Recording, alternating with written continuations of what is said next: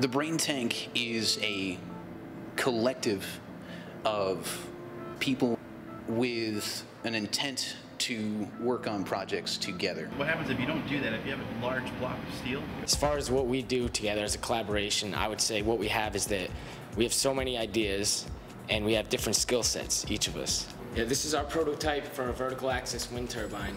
This is a homegrown wind turbine. We made it this size to get an idea of how much energy it produces. So this is something that we can replicate and put in someone's home to help save them energy. We're trying to evaluate each homeowner based on their individual needs Case to case. and give them a system that will immediately and in the long term save them money. This is something that we're designing, manufacturing, assembling, all in Rhode Island.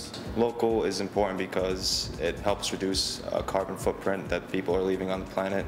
It also, the greenhouses, wind turbines, renewable energy systems, they will all make homes in Rhode Island more self-sustainable.